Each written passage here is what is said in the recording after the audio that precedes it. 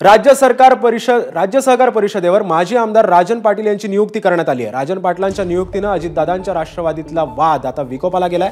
राजन पाटलांच्या नियुक्तीला अजितदादांच्या राष्ट्रवादीच्या प्रवक्त्यांचाच विरोध असल्याची माहिती समोर येते. सहकारी संस्था हडप करणाऱ्या व्यक्तीलाच अध्यक्ष केलं असं उन्मे उमेश पाटील म्हणतात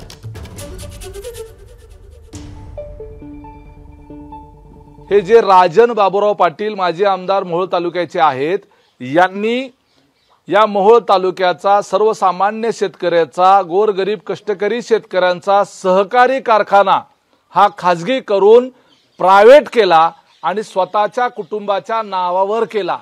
अशा पद्धतीनं सहकारी संस्था हडप करणारा शेतकऱ्याची संस्था हडप करणाऱ्या व्यक्तीला राज्य शासनानं राज्याच्या सहकार परिषदेच्या अध्यक्षपदावर नेमणं हे अत्यंत चुकीचं आहे.